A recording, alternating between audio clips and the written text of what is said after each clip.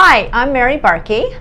I'm on the Orange County Board of Education, just recently reelected for my second term in June. I also work for a nonpartisan think tank, the California Policy Center. One thing we've been doing a lot of lately is educating candidates. We're 501c3, so we can't campaign, but we work to educate them to help them so they know what's involved in running for office and then helping them govern once they get elected. Today, here with me is David Bacon, and he's got an incredible story. I think you'll want to hear a lot from David, so we're going to turn to David now.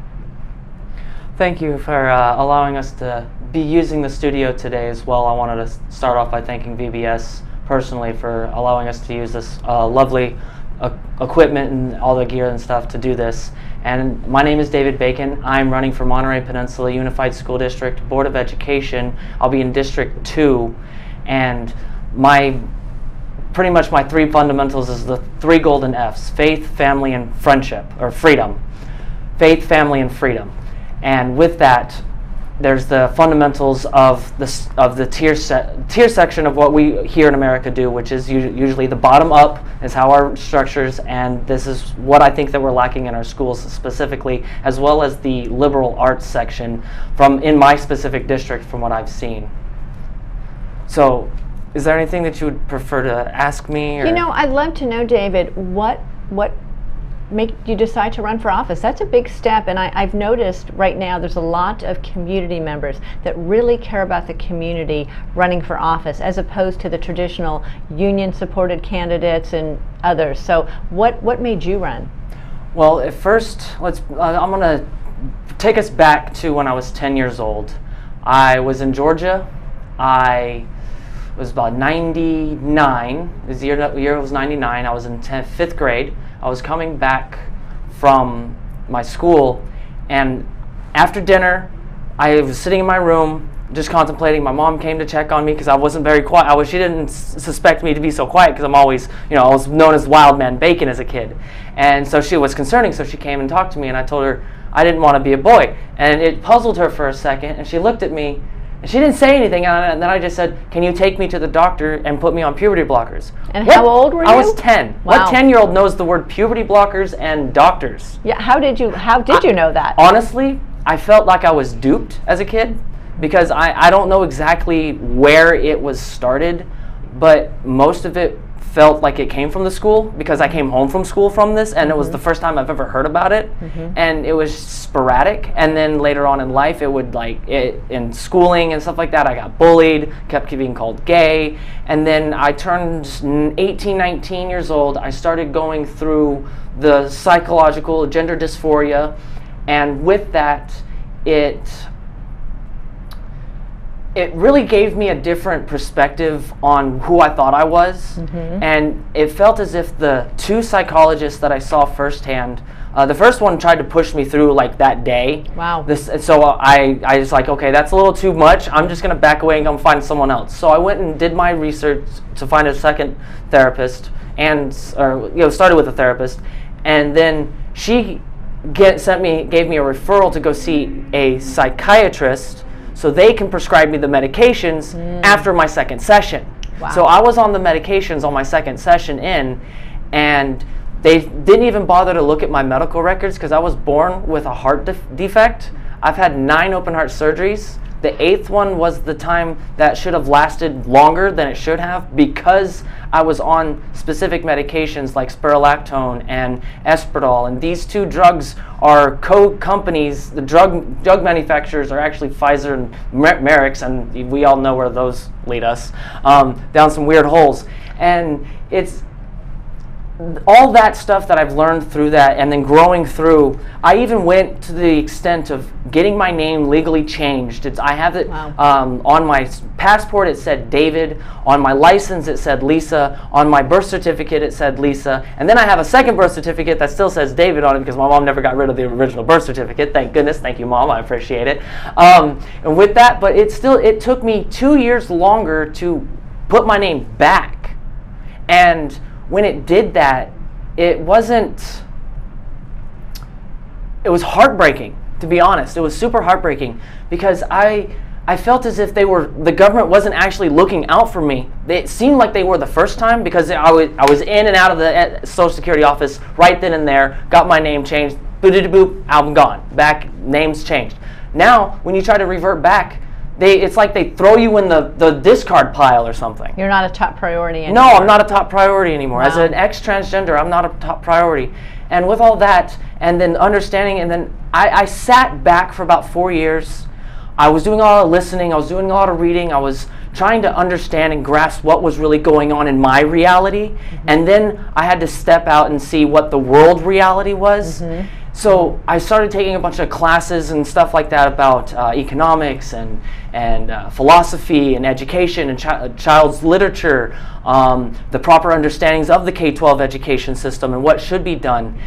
And the ones that are having problems that I see, they in my specific county, they have a grade A in diversity, but they have a C on average for their academics. Wow. So And it's very disheartening. It's very disheartening and discouraging to me. Yeah, it, it, it is disheartening when in education you're getting diversity as your top priority when we know that kids are way behind in their reading, arithmetic. And um, let's not let's also add to the fact of the two years of the whole pandemic that we just went through as mm-hmm. well Oh. with the face mask and now kids can't even don't even know how to use their mouths. Like motor function skills in the face is like gone almost. Yeah, that, From I what think I've been was- hearing and yeah, reading. especially for young children who so rely on facial expressions. I think it was very, very challenging. And. I'm I, I'm I'm very uh, adamant about trying to protect those because I have my best friend.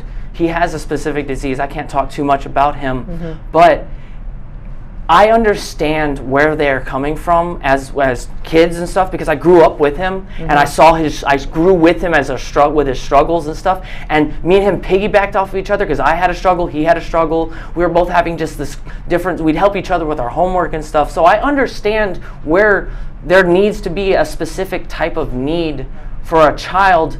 And I feel that our teachers are lacking that one-on-one even if it's just for 2 minutes with that child that one-on-one could change their life and it seems as if we're just sticking to the here's your paperwork, here's your grades, this is what you have to do, A, B, or C is your choice, and that's all you do, and that's your test. Like that's not learning to me. That's mm-hmm. I looked at I, I've seen that as like indoctrinating me to just know how to fill out a form and make myself compliant to whatever's on the form. Mm-hmm. That's what I felt like that was af- looking back. That's what I feel like that was what I was doing mm-hmm. and it doesn't seem and then because when i was going through all the classes of my call of the college that i'm going to it opened my eyes to what liberal arts really was. And there's more to it than just your basic you know uh, uh, what what what is you know two plus two is four. Yeah we have to keep our basic education and our basic standings. But where we're going with it i feel like they're l- throwing out what they call the um, the ontology part of our life livelihoods under the uh, fundamental spectrum of our learning capabilities and we're focusing more mostly on the epidemiology of things where it's mostly just your ideas and your impressions and that's what I'm feeling that that's what we're pushing for. And I get that our feelings, and our ideas, and our impressions are important to us. That's that's good. That's our worldly view. However, what we see in our own selves has to be it has to have some type of moral good. And I don't think that we're teaching honor. I don't think we're teaching courage. I don't think we're teaching um, uh, uh, what's uh, what's another good word. Um, uh, respect, loyalty. These words are lacking. I went to look at some of my old school photos of my sister back in the 80s. They had these specific things in the high schools. Mm-hmm. I go. I went and looked at my high school photos. Didn't have a single one of them on there. Mm-hmm. They had maybe be kind, be uh, be uh, happy, be this. Mm-hmm. What is being kind specifically? I get kindness because that's a specific format, but be kind is what, what do you mean by that? I, I, I'm studying philosophy and I'm going, what are you meaning? Are, are you referring to this side or this side? And then I feel like we're lacking that. Mm-hmm. So that's why I'm mostly running for school board. And it's, it's something that I'm also passionate about because what I do in the community is I like to bring smiles and happiness to the community because I, I work out of the city that I'm going to be running in, but I talk to the people. I'm, I literally deliver things to people. I am actually a delivery guy. I work in pizza. Ah, so love everyone loves pizza. That's why I say it brings smiles and joy to people. Absolutely. You can always bring a smile to anyone's face with a pie in their, with a pie in your hand. So I just say, why can't we just grab a slice and hang out? Mm-hmm. You know, because what's all this woke ideology of trans this, trans that, they, them, it? Z Zims. What in the world are you going on? Like, can you just accept the fact that you're a human and just move on? I get where we're coming from. I, I have empathy for you guys because I've been through the struggle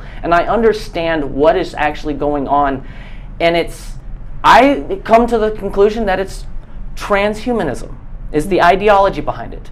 It's this form of idea that they think we aren't hum- we're, we're too human to be controlled, so they want to try and find a controlling aspect of it by um, putting in brain chips and forcing us to do this kind of stuff. I know it's kind of crazy to think that this type of stuff couldn't happen, mm-hmm. but just think about the other. Just just earlier today, there was a bill that was passed by Governor Newsom about um, allowing to use humans as fertilizer. Did you hear that? I did. I so did. I'm just saying, like, where are we going with all this? And if we don't protect our knowledge at the educational level, mm-hmm. our society is going to follow through. Mm-hmm. Because the famous quote that I love to death, because it was said by Abraham Lincoln himself, he says, The philosophy in the schoolroom will be the philosophy in the government in the next. Mm-hmm. mm-hmm. And with that, it opened my eyes to see our philosophy is failing our students because they're only teaching one side. They're not teaching all four aspects of it. Yeah. I think what I hear you saying is that, that our priorities aren't always in the right place, and you want to make sure that we go back to the priorities maybe that our founders had, you know. I wouldn't so much say go back all the way there mm-hmm. because we are living in a modern time, so there mm-hmm. are some new ways. I, I feel like I'm part, I have a thing about me of being having that little bit of progressivism, a little bit of Theodore in me is mm-hmm. saying it's okay to give a little bit, mm-hmm. but mm-hmm. there's a there has to be an amount that we have to acknowledge. Okay, let's stop here. Mm-hmm. There has to be an, there has to be a break, and I feel that we're not putting the brakes, and and I feel like I'm me and several other candidates in my area are trying to put the brakes on this. Mm-hmm. Mm-hmm. And if I if I win this seat and one other person wins the seat, that puts three Republicans and or three like-minded thinking mm-hmm. people. Let's mm-hmm. just put it that way: three right. like-minded thinking people who have who understand what's going on and wants to help save our students because we're not just protecting our students, we're protecting our future. Yes, yes. And I'm sick and tired of seeing what they're doing. No, and and um, I like to refer to it as putting the students first because we should be doing that and honoring parental rights, making sure they're part of the equation. I think definitely. that's very important. That is definitely important because there's this bill out about um, SB 107 that's sitting on Newsom's desk right now. He hasn't signed it yet, mm-hmm. but I think you guys should probably call him just so mm-hmm. you know, just call his office and tell him not to sign that bill because it's the uh, out of state transgender affirming care bill mm-hmm. and it's I believe from my own studies of understanding the Constitution, the state doesn't have the right, the legal right, to extend its law outside of its own state. And that's what this bill seems like it's doing, and that seems to be unconstitutional by the state itself and also federal. Mm-hmm. And it's and it's all not just breaking the state law it's also breaking the parental rights laws that we have. Because the parental rights laws is what protects our children. Because they don't have te- technically by law law standards they don't have any rights until they're 18 mm-hmm, mm-hmm. so the, and and if we're and my, my my whole concern about this whole transgenderism is if the state of california's legal grounds right now and in this current day today it is 21 to buy alcohol, 21 to buy weed, and 21 to, to rent a vehicle, or 25 to rent a mm-hmm. vehicle mm-hmm. and, and stay in hotels and stuff like that. You have to be at least 25 with all this. But you're going to allow a six year old or a 12 year old to jump on these puberty blockers and screw up their lives? Like, I, and amputate them later on. Just think of the uh, of a recent lady. Uh, what's her name? Chloe. Chloe, mm-hmm. Chloe Cole. Mm-hmm. She brave as I. Oh, praise you. You are a most beautiful woman. You are. Stay strong. Stay courageous. Mm-hmm. Stay in the fight. Don't let these people bring you down. I promise you, we have your back. I have your back personally. We all need to stand as shields. Is what I believe. I mm-hmm. believe. Absolutely. Absolutely. So tell me how you think running for office and winning can, can change this. What's the first thing you'll do when you win? Well, the first thing that I'll do is I'll stop this resolution that they're trying to push with the LGBTQ community. I understand you guys are going to hate me for saying it, but we need to remove LGBTQ this LGBTQ ideology completely out of schools. No clubs, no none of this, nothing. Because recently I was just looked at one of our uh, out in my the city over the one that I work in because I'm, I'm concerned about that Seaside. There's a school there. It's a Catholic school, mm-hmm. and they removed what they called, uh, what was it originally called? It was called it was a Bible study group, but it wasn't Mm-hmm. called Bible study or anything. It was something simple, just to go over the Bible as a literature format, just to, as, Mm-hmm. Just to using it as fables, using Sure. it as a fable. Sure. Mhm. That's all they were trying to do is use it as a moral standards, a moral grounding, Mm-hmm. something to help relate the children to understanding certain things when they grow older. Sure. But they removed it and they put in this new thing called Rainbow Club. Now, I totally would understand if Rainbow Club was arts and crafts and painting and all that stuff, because that'd be great, because then it's learning motor skills, motor functions, mm-hmm. techniques, creating the minds, making it creativity, creating imaginations, going down that, what I, going, coming out of the rabbit hole. I don't like to say mm-hmm. going down the rabbit hole because from what I'm understanding, we all start in this little, I guess it's the cave theory, mm-hmm. where you start in the cave and then you, the, light, the further you come out, the more bright it gets, and there's this pain that comes with that light, but it's a good pain because you're learning, you're understanding, you're going, oh my gosh, your mind just breaks into this wondrous place, and then it's like, oh, great, we're losing that. Mm-hmm. That's what I'm seeing. And I think we need to come back to that mm-hmm. and you know actually guide our students on how to do it properly not just our not just law fundamentally reasons and logic and stuff there needs to be a moral foundation behind those reasons and those logics and I, I argued with a transgender the other day. We had a disagreement. We- Me and her are great. We're good. We're friends, but we have disagreements on things. And I think they, they did come off a little harsh. They thought that I was being like trying to put them in a box. But mm-hmm. when someone talks about their religion or their what they believe in, don't I think that we're teaching our children to hate on other people that have a different view. I mm-hmm. think we need to start learning to accept those other views. Absolutely. views. And I get that we can disagree, but where's the respect in the disagreements? I think that we're mm-hmm. losing that alone. We're not teaching our children respect either. Mm-hmm. So that's I believe the number one thing we should teach is respect. Absolutely. The first and foremost. Absolutely. Because we need to put authoritative figures as teachers in the schools, not this pronouns and sexual biology and you know what you- like the sex ed stuff that they teach teaching is okay if you keep it fundamental and back to the basics none of this woke mm-hmm. ideology mm-hmm. no student should know anything about your sexual preferences or your political views. You're there to instruct them on basic information that is fundamentally fact, core not subject. ideology. We're back to objective teaching, mm-hmm. not subjective teaching. You start mm-hmm. going into the subjectivity when you get further along in your education. of course. of So, because that's a whole wide of ranges where your imagination can just go wild there. Mm-hmm. Trust me, I've gone there before. Mm-hmm. It's it's crazy. I've drawn some really cool things and stuff lately. But that's why I'm running. I'm trying to bring back our moral standings, a moral Mm-hmm. compass. And I will say, I am a follower of Jesus Christ. Mm-hmm. I don't like to use the word Christian too much because it's getting hate. It gets hate on so much. But I also see why they hate on it so much because there is so much attachment to that, where it brings down someone's morals or something, or it makes them feel like they're comfortable to be around you because you might push their faith on you. Mm-hmm. Well, I'm as a follower of Jesus Christ, I'm not going to push my views on you. That's not my point. My point is, all right, this is my morals due to the Bible. The Word is my my guidance for my morals. That's me. That's how I'm going to live my. I'm going to do my best to live my life by the Bible as best I can. However, the Bible has so many facts Mm-hmm. and so many true historical um, things that it's hard not to ignore it as truth as well. Mm-hmm. So it, there's there's a double standard to it, and it's like a double-edged sword that God gave us almost. It's like it can cut one way, but then it can also cut another way. But it cuts us gently enough to just give us enough push to stand up, mm-hmm. Ge- be courageous, speak out, use your voices, because they're not going to tear us down if we continue to talk. You know, they the only the worst what what's the worst they can really do to be honest. They can't really they don't scare me. I don't have any fear. I don't there's no fear in these bones. As long as I have God on my side, uh, there's nothing to fear.